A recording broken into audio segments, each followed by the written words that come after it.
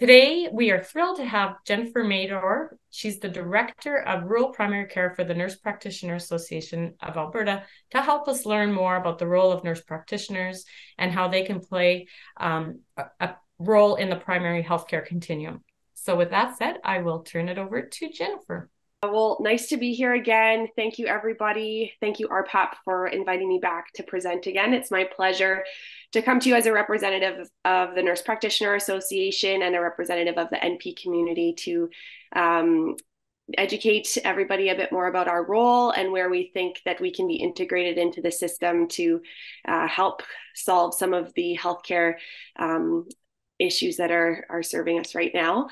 The Nurse Practitioner Association has been working with stakeholders for many, many years. Um, we um, specifically have worked with the RMA, who was um, lovely in putting forward a resolution for us recently to government to help promote um, a policy or promote the um, integration of nurse practitioners um, by way of a direct reimbursement model. So there's been a free, few resolutions over the last year that have come forward uh, from different communities. So wanted to acknowledge that uh, we've been doing this for a while and we're hoping to um, implement uh, direct reimbursement for nurse practitioners so that we can address the inequities and um, lack of access across Alberta, especially in rural locations. Um, so currently, the biggest barrier for us, um, I would say, is um, funding mechanisms to implement nurse practitioners into all areas that we see think that we could be integrated. Um, certainly there's still a component of education for people to acknowledge the role and understand the role. Um, but once people know about us they they tend to want more of us and the limitation is a is reimbursement. So um, we've put forward a, a, proposal to government and hopefully that'll well, we can continue those conversations and grow our stakeholdership so that uh, we have the support that we need to be fully integrated. So, some rural health statements that have come forward in the past policy statements the government of Alberta should work to implement recommendations found in the Rural Health Services Review final report, which was put out, I believe, in 2015, uh, 2017. So, these recommendations have been around for a while. Uh, a few of those guiding principles are equitable access. So, nurse practitioners would help improve that. Um, we know that a healthy rural Alberta is a healthy Alberta. Most of our our working groups are in in rural Alberta, and um, we need a healthy, prosperous um, rural Alberta in order for us to be productive. So um, we need to prioritize rural Alberta and, and keep our hospitals open and our access available um, to keep these communities healthy. Um, we understand that every rural community is unique, so it's not a one size fits all solution. I think it's important that we work with communities um, to understand what would be the best model that for healthcare that would work for them um, and where what resources are needed. And I think when we're in such an Im- important time where we have all healthcare workforce um, de- deficiencies, not just physicians and not just nurses. Um, all of us are affected by this healthcare workforce issue. Um, we need to understand who's the, the best person for the, the jobs that are needed in each community. So I think what Alberta and all of Canada and actually around the world is facing is a distributive issue. We, we need to see how we can maximize the scopes of practice of all healthcare providers and figure out how to best do that together. Um, we need to engage with our First Nation and Metis communities. Um, we need to acknowledge that there's historical travel and trading patterns that affect our ability to access healthcare and have resources for healthcare. Um, and this is all very unique to the rural context. I think that we need to, and we think that rural Albertans know their own needs. And so we need to speak to uh, communities in order to address what they feel is the most appropriate um, solution for, for what's going in that community. Um, generalist approach, when a provider comes into a community, I've been in rural communities as when I first started as an NP. Um, you, are kind of wearing all the hats, um, so you need to be able to find providers who who can do primary care, urgent care, community care, public health, uh, home visits. Um, and so when we say generalist, we mean that you kind of know a lot about a little about a lot. Um, and if some are gifted to know a lot about a lot, that's a great provider. But it's it you would need to find some very ex- experienced providers for that. And I think that's the challenge in rural Alberta is finding the providers who can wear all the hats. Um, and that's where the team concept is going to be really important for our solutions in healthcare. Um, we I talked a little bit about this efficient resource maximization. So maximizing what we do have and the scopes of practice that we do have and uh, the infrastructure that we have. So being a little bit more efficient with what we got because it's going to take a while to build more capacity, whether it's training more providers, recruiting more providers. So finding unique and um, invent innovative ways for us to work with what we have, I think is going to be our short term solution for our healthcare crisis. Um, so, primary healthcare is a foundation of our um, of our healthcare system. Uh, in case anyone isn't sure what primary healthcare is, it's typically the first place people would go for healthcare or wellness advice or programs. But unfortunately, that access has been limited, um, and and people are are not able to access um, primary services the way that uh, we have in the past. So uh, often individuals are seeking care at tertiary centers, uh, emergency departments, um, or going to walk-in clinics where, where there's a lack of continuity of care. You see a different provider each time, so it's hard to maintain relationships. And so um, it's important that we invest in these primary um, early entry into the into the system services. Um, and so when we think about primary care providers, really family doctors, physicians, um, and nurse practitioners are the only two uh, licensed, regulated providers that have full scope of practice. We do have other providers who are providing care, extended class registered nurses. We have pharmacists who have um, some extended prescribing rights now that are also filling in this gap. Um, and so we need to acknowledge that it, there is a team dynamic and all, all of our providers are, are attempting to fill a deficit that exists. So um, we need to figure out how to do that all together and in a way that makes sense uh, financially and and scope of practice wise so currently uh, primary care um, could be also sorry i forgot about midwives our midwives are fantastic um, at providing prenatal care and obstetrical care to our patients um, and so um, there are, is a lot of lack of access for um, for midwifery services and access to OBGYN. So um, we need to figure out how to how to improve that access to care. Nurse practitioners can be part of that solution as well, um, but maximizing those all scopes of practice to improve access to our patients is is what's key.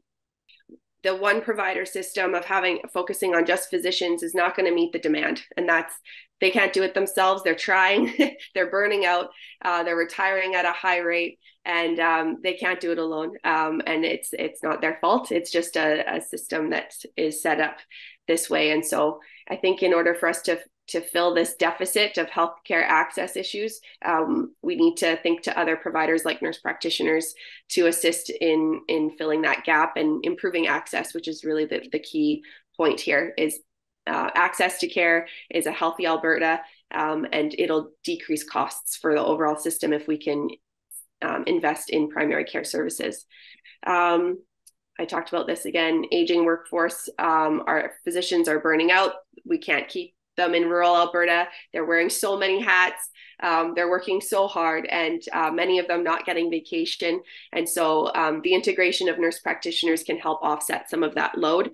Um, co- doing locum coverage, assisting with covering in the emergency departments um, or urgent care centers. Um, and sharing that that scope of practice and, and workload so that um, it's more of a team dynamic serving everybody is where ultimately we want to go we're seeing that less physicians are going into family medicine um, into specialized services. So we need to figure out how we can fill this this gap that seems to be growing um, and these unfilled seats at, in residency um, spots, for example, um, is just indicative of how um, we need to invest in primary care to incentivize people to go into primary care um, and that goes for, for all professions. Again, it's a distributive issue. Lots of nurse practitioners, um, there's 850 of us in Alberta, and 95% of us are trained in primary care, but we end up in um, other environments like acute care services because that's where the jobs are. So there needs to be an investment in primary care in order to make it attractive uh, for all for all providers, really. So a little bit of a projection uh, for percentage of change in the supply of what's coming down the pike. Um, NPs are projected to grow quite substantially across Canada um, as many of our colleges have increased capacity. So um, out of and physiotherapists, OTs, RNs, and physicians were, were growing at a quite high rate. Um, so that's projected to continue to increase over the next 10 years. Um, and so, what we would like to see um, with our proposal to Alberta Health is that um, nurse practitioners become integrated into the part of what is covered um, by Alberta Health Alberta healthcare plans, so that patients don't have to pay for primary services by an NP, and that's happening as well um, currently as as NPs try to fill a gap with their services. They they have to charge privately currently um, in order to provide what they've been trained to do because uh, there's not an integrative um, reimbursement model. So um, that's what we're hoping to to change so that we can join clinics, open clinics, um, and and be more integrated into the the overall solution. The role of the nurse practitioner is not to take away um, the financial sustainability of another provider. We need to. There's enough work to go around. We have a million, over a million patients without access to primary care. Our acute care services and um, budget is ballooning um, and so there's more than enough work to go around. And I think that we can find a way for all of us to work together. Um, I have a great collaborative relationship with the physicians I work with.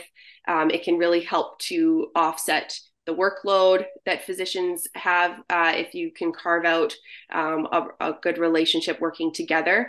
I think there's different models out there and how people have decided um, to work that out, whether it be fee for service or ARP funding um, and how they reimburse the nurse practitioner is always hard to know how to do. Um, and it creates some different ways of, of practicing. And so, um, and it can create some conflict. Um, so I think we need to sort that out. And if we were to have direct reimbursement to nurse practitioners, I think it would be part of a solution where an NP could come in with their direct funding and help offset the workload or the burden that um, is burning out some of our physician colleagues. If if a physician works in a community and you know their their panel is full, uh, they don't have any more capacity, and they're overworked, the nurse practitioner could be an, a partner in that and bring their uh, direct funding to help support overhead, help support after hours. Um, so there's a lot of benefits. Uh, there's also the consults that could occur as something gets more complex.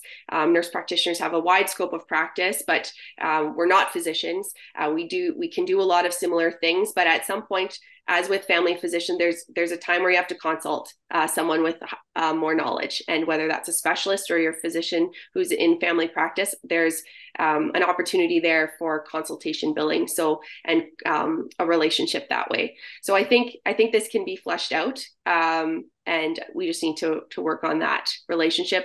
Those who have integrated NPs, um, typically I've heard they they really enjoy physicians really enjoy working with the, the nurse practitioner who can spend ex, a little bit extra time suggest i would suggest um, complex disease um, management such as diabetes hypertension um, screening uh, for cancer women's health. There's there's these niche areas where there can really be a collaborative relationship occurring. So i think i think we could work that out but i can also see um, the turf that physicians want to that they want to protect and they see it as a competition. So um, I, I, think it depends on the community and it depends on the relationship that you can work out uh, what and always in the best interest of the community right? Are nurse practitioners paid by alberta health services? Uh, yeah. So um, there are different uh, funding models for nurse practitioners currently. There's the acute care Alberta Health Services, which is the hospitals. Uh, there's the PCN, which is the primary care networks. And uh, then there's uh, private uh, pay, where nurse practitioners have opened their own businesses and charge privately for their services. Um, so AHS, being in the hospitals, is different, and from Alberta Health, which is the government side. And right now, we don't have a direct Alberta Health funding model, uh, which is similar to what physicians have with a- ARP, which is alternate relationship funding, or fee for service. We don't have access to those kinds of reimbursement models.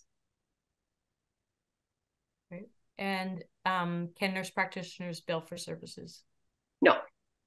Many of us in our rural community really, really want to have the nurse practitioner being the primary care worker. We we really we know the value of them, but our some of our rural docs are reluctant unless you can go on call in the emergency on rotation with them.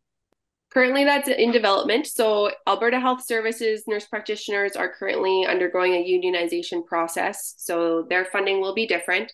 So, they have to abide by the Alberta Health Services medical bylaws um, and governance structure, which is currently being reviewed.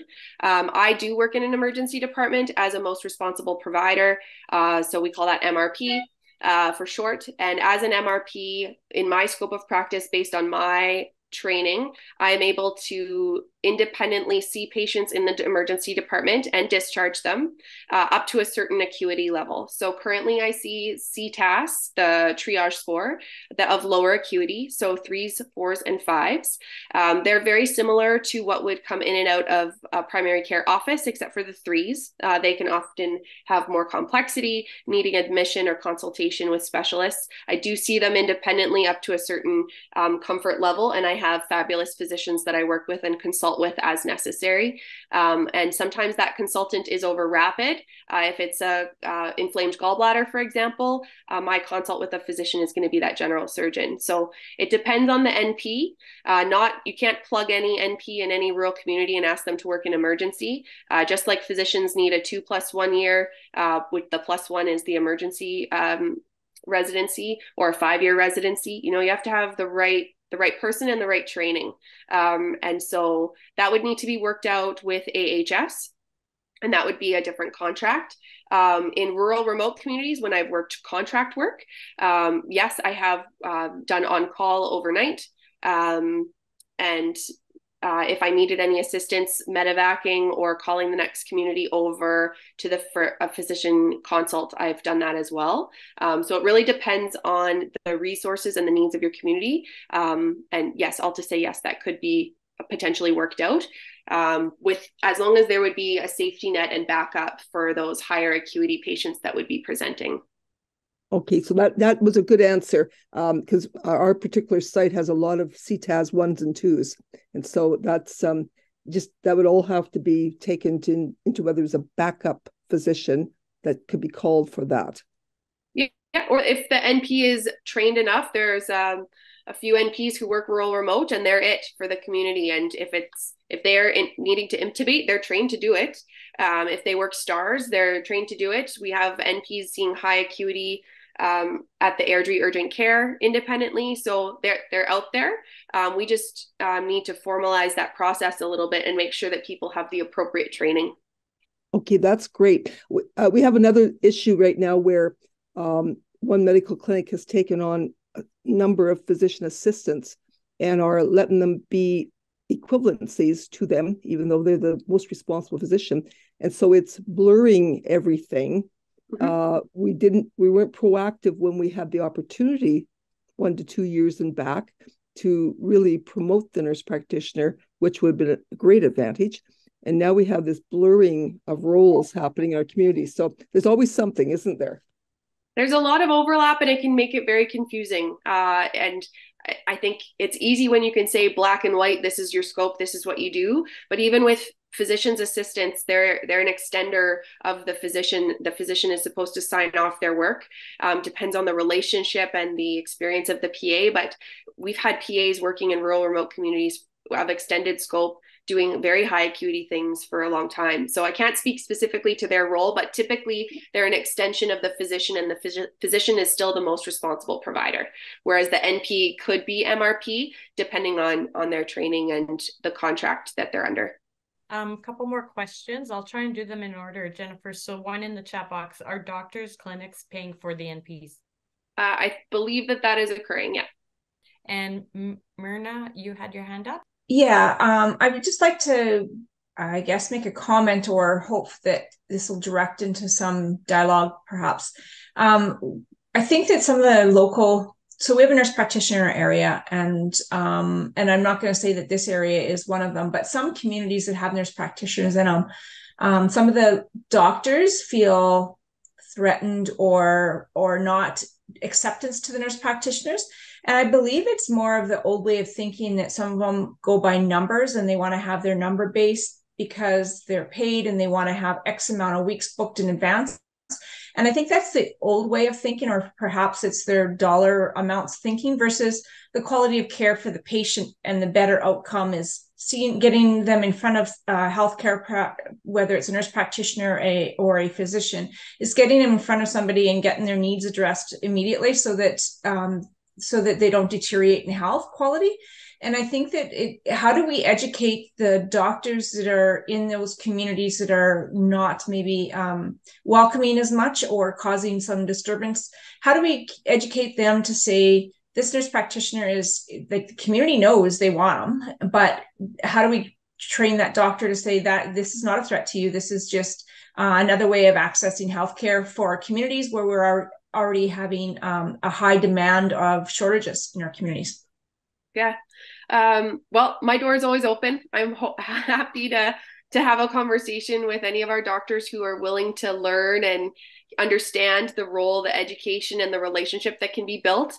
Um, I don't uh, blame uh, a physician for feeling that there's competition coming over because that's that is what it is.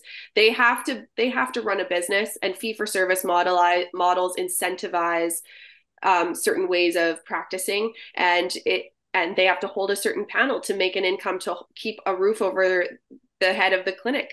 Um, so it is it is um, uh, a disturbance that in the force of healthcare. Um, but hopefully, as you pointed out, um, our, the intention is for improved access and improved patient care. So I think that that just has to be worked out in individual communities um, because the purpose is to have everybody functioning to their optimal scope everybody um, providing quality care to patients um, and everyone um, having access to so that we decrease costs to the system which are much higher when we start transporting people to acute care services so i think there's a big conversation to be held uh, I don't know if everyone heard about the MAPS initiative. That's the Modernizing Alberta Primary Care Strategy.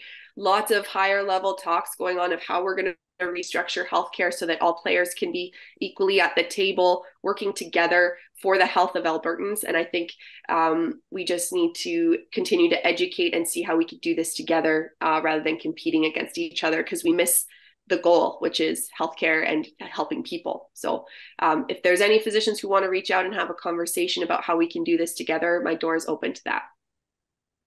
And another one is when the advanced practice uh, nurse practitioners are working in remote areas, like you mentioned, they are it. Does that mean there are no RNs to carry out treatments?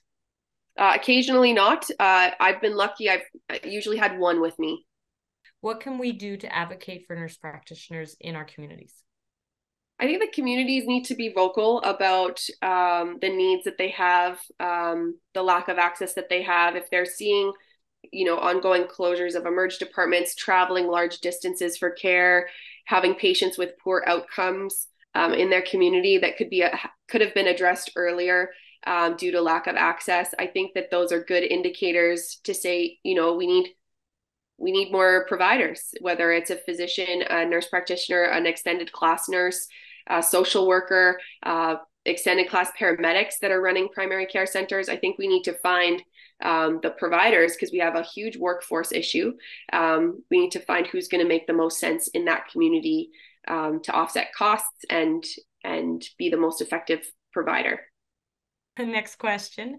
Uh, our PCN has been looking for nurse practitioners and just wondering what's the best way to advertise or find nurse practitioners who do want to go to rural PCNs. Yeah, PCN um, support program funding has been challenging. I think it depends on where your community is. I guess why don't I go? I'll get to it in my presentation a little bit as we talk about growing your own. Um, but it's it's always easier um, and more sustainable to find the registered nurse who's integrated and deep rooted in a community who's willing to upgrade two years to become a nurse practitioner after they've practiced for at least five. So um, it's a bit of a faster track to get this extended uh, advanced practice scope of practice that you may need in a community. So uh, I think sometimes the recruitment is more difficult than finding someone in, who's already existing in your community. So that's something that I would recommend. There is some modification that's needed to the PCN support program funding and how that's structured, and the integration of nurse practitioners into the governance structure of PCNs in general. And I think that as nurse practitioners are currently going through a unionization process within AHS, they're holding out to see how that negotiation goes um, from a funding perspective to see where the jobs are being incentivized for them to go. And so it's a bit of a, a hard time right now um, with recruitment um, when these negotiations are at play. Are there an abundance of nurse practitioners in the province? Is it hard to recruit for one? Um, so I'll go through my slide. That's a great segue. Okay, so there you go. All right. So, um, nurse practitioners, um, I just want to highlight our graduate prepared advanced practice providers. They have been registered nurses first. Most of the programs across Canada are going to be um, having a minimum of five years of registered nurse bedside experience before you can apply. So there's all of that um, clinical experience that's needed prior to becoming a nurse practitioner. Then the NP degree is at least two years. Some uh, NPs do a uh, master's, then a plus one, um, a post master's uh, certificate as a nurse practitioner. So some will be three or four years, um, but most of them across the board are two. Um, in general, there's primary care, family all ages as the designation. There's also neonatal and um, adult critical care nurse practitioner designations, but most of the NPs that graduate are going to be family all ages and ready to work in primary care. Um, some nurse practitioners have also gone above and beyond and done their doctoral degrees. So they've done research to get their PhD. They've gone to the States to do their doctorate of nursing. Um, some have MBAs and some have done their midwifery degree. So lots of, of training for nurse practitioners.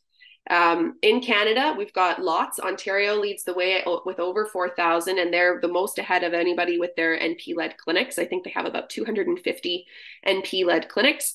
And next in line to them is um, these numbers are from 2021, so they're a bit lower. But um, British Columbia has well integrated their nurse practitioners through their PCN programs because they've um, allowed that to open up to NP led clinics, um, which is not something that we've done in Alberta. So um, we can we can learn from our other provinces um, of how to make this work.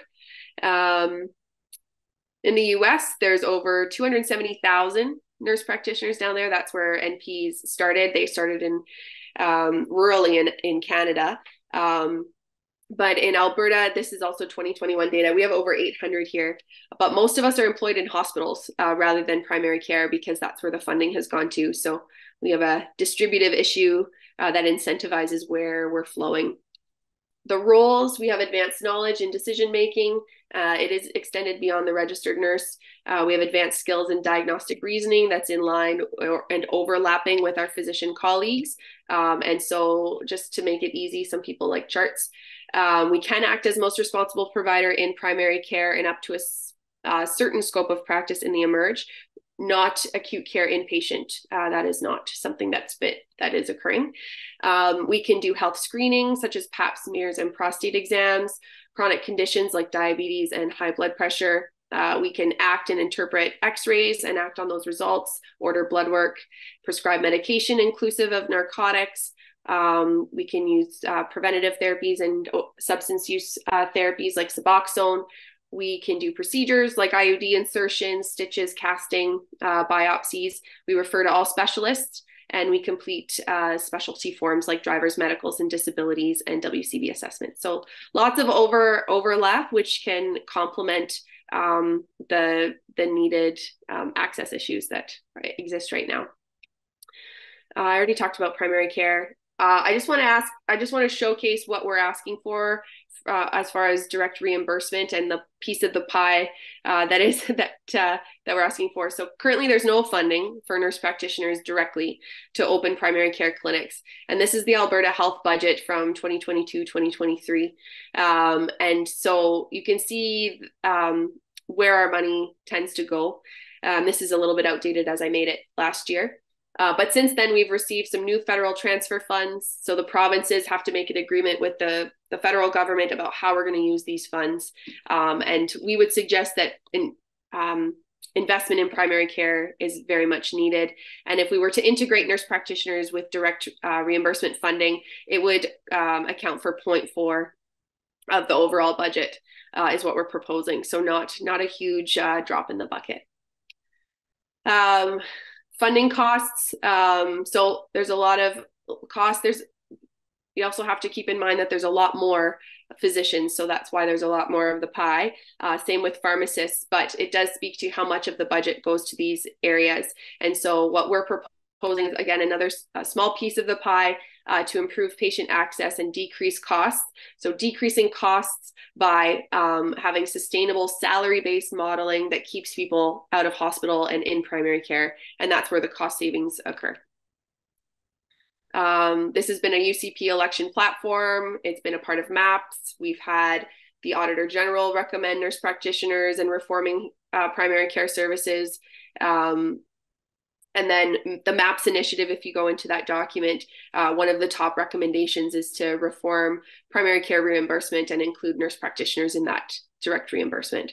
Um, we know that fee for service doesn't incentivize quality um, visits. Five minute visits isn't isn't great for patients. So um, we would suggest that salary based modeling would be um, better for providers to prevent moral distress and burnout from just seeing people um, and band-aiding their issues as opposed to spending the time needed to um, minimize the number of times people have to come back as well and doing a, a comprehensive um, visit that nurse practitioners are very well trained to do. So i think we would um, agree that a salary-based model would would be better.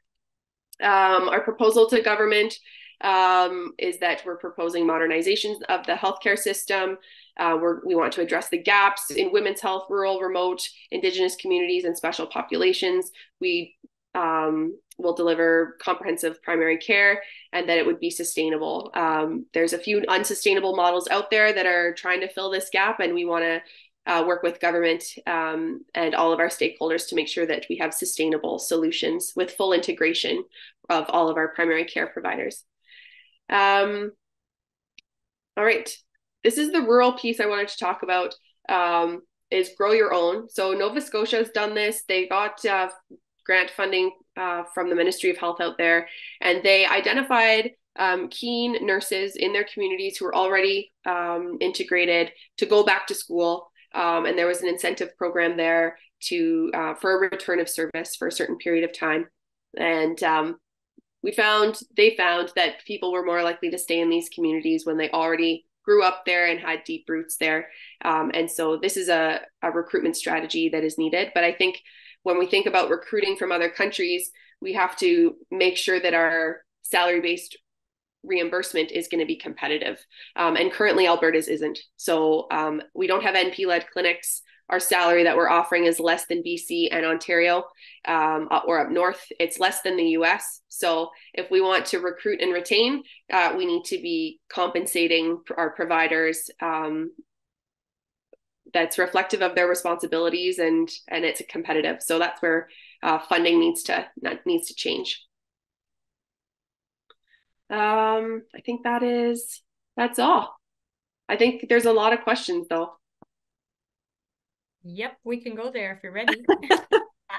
I, I think questions are great because we all learn from them. So anyway, the next one is Are the credentials for a nurse practitioner trained in the US um, recognized in Canada? Uh, USA, the recognized, I'm assuming recognized in Canada, are they the same equivalent? I think it depends on the province and the schooling and the state that the NP went to down in the US but I would say in general, um, I think most of them would would be accepted. Um, I did my US exam and it was accepted in BC, but I did my training in BC. So there's a relationship that BC accepts it. Uh, it just depends on the the college and the process and the the communication between that NP state and what they how they license themselves because each state is different in the US. Can NPs keep their RN license to offset living costs in case there's not enough employment in rural areas, uh, but are not willing to move? Um, you certainly can. Uh, it creates a medical legal issue um, and confusion, especially if you're working as an RN and an NP in the same community. If you talk to our college or uh, or legal team, uh, they'll suggest that you don't do that because if uh, you're working as an RN but you have the knowledge to intervene at a higher scope of practice, you can be held liable. Um, so um, it's recommended to choose. Uh, we do see that um, there are NP trained NPs out there who have elected to go back to RN bedside work because they can make more money. So again, a funding issue uh, where current funding models are not reflective of the roles and responsibilities, and our experienced RNs can make more money as an RN than doing their NP. So there's lack of incentive there, and and that needs to change too. Um, that's part of the union and part of the NPAA uh, negotiating with Alberta Health and Alberta Health Services to change that so that we incentivize uh, more NPs, want more RNs doing and upgrading uh, because there's a, a, discrepancy on the reimbursement. Um, in the chat box, I'm attending from Saskatchewan. I'm currently enrolled in the U of S nurse practitioner program with the hope of practicing in rural Alberta in the future. Are there any current incentives for our pro- in our province for NPs wishing to relocate to Alberta? Uh, I think we're working on it. I've spoke with RhPAP about that, about incentivization and into our rural communities. I think a few rural communities have advertised for their own NPs too, um, using some municipal dollars to do that. So people are getting pretty creative outside of government funding to make this happen. So um, they're all to say there are some incentives, but they're not um, provincially, you know, they're not across the whole province. It depends on the community and who's advertising the position at this point. And so that's where we feel that a direct reimbursement to NPs through government uh, would then recognize um, rural incentivization. And, and so that's part of our ask as well. What about patient education around NPs so they understand that they don't need a physician and can receive comprehensive care from an NP? yeah, I think that's that's going to be us uh, as the Nurse Practitioner Association to continue to advertise what an NP is, uh, word of mouth, uh, people who have experienced NP care to to promote it if if they've enjoyed it and to let us know if they if they have some suggestions. Um, but I I think um, everyone needs a primary care provider. Um, so whether that's a physician or an NP, we need to figure out ways for people to access either one and um, and that's going to improve healthcare for everybody. So um, it's not that they don't need a physician; they they need a primary care provider, and that could be an extended scope RN as well, or farm or pharmacist who can be an interim measure for some of this prescribing. Although they're not, they wouldn't be as comprehensive. But um, I think we need to together do some education about other providers where access is available and a comment on that a rural incentive for NP similar to what rural physicians get in remote areas would be welcome. We have been asking for that as well, yes. Mm-hmm. Cardiologist told me your mother is in good hands with your NP and the mom is 93. That's a real positive, nice comment there. That's wonderful. Hello, it's Joyce Wicks again. Uh, how, uh, Jennifer, just how how do you think the timelines are going with your negotiations then in your unionized process? Uh, what can we be looking forward to for how how soon? Are we looking at six months, a year? How long do you think this will take? I wish I had an answer for you, Joyce. Um, the Nurse Practitioner Association has been advocating for direct reimbursement from government for at least the last seven years. Um, I've been doing this for the last year and a half, and the proposal that I was part of has been on has been with them for two years. So we've been working hard. I think when there's a change in government and change in and cabinet and, and lots of changes within AHS, it does delay um, the process. And so um, the union is separate from us. The union is negotiating in hospital NPs, and we're hoping to negotiate community based primary care NP services. And so um, the timeline when you're negotiating with government or negotiating with a big organization like AHS, uh, it's really hard to put a, a timeline on it, but it, it, they're all actively occurring. Is all we continue to do it, uh, and the more voices we have behind us, the the quicker I think that'll go. Okay, well, I'm from a community that's pretty politically active, so if we have that moment with the health minister, I'll put a good word in. oh, that sounds great, Joyce. Yeah, thank you. and please feel free to contact me directly if you would like to have a conversation about uh, your community needs and how we can maybe you know formulate a proposal together to to submit to government we can maybe consider that um, do a community assessment and and see where we can get an np in there what was that again what? about the max max something or other oh I, maps uh, m-a-p-s the maps initiative okay so that was a collaborative effort with key stakeholders and the government to have a forum of how we can transform primary health care and long-term care services. And so that was invested prior to the past election when um, Jason Copping was our health minister. So I was present uh, there voicing um, the nurse practitioner voice, and there were other few other NPs there. Um, and so we're hoping that the recommendations from that forum uh, will be acted upon by the next government.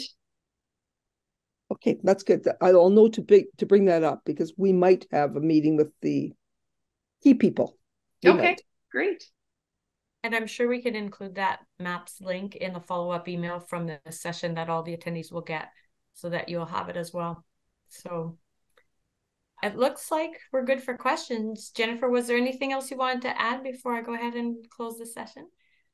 No, thank you for having me back. And again, I hope that uh, people will feel comfortable reaching out. And if they have um, any uh, people in their communities who have more questions, you have my email there in the chat. We can put together a town hall if, if there's a lot of interest from one community or um, or concerns from specific groups, then we can put that together too. It's probably more efficient um, doing a town hall or a larger forum like this when it's one community with a lot of people with questions. So we can set that up too. Sounds good. Okay, so I just want to thank everyone for your questions and being so engaged in this morning's session. It does really help all of us to learn a little bit more. And most certainly, um, thank you to you, Jennifer, um, for sharing and educating us more about nurse practitioners, their role, and how they support rural healthcare.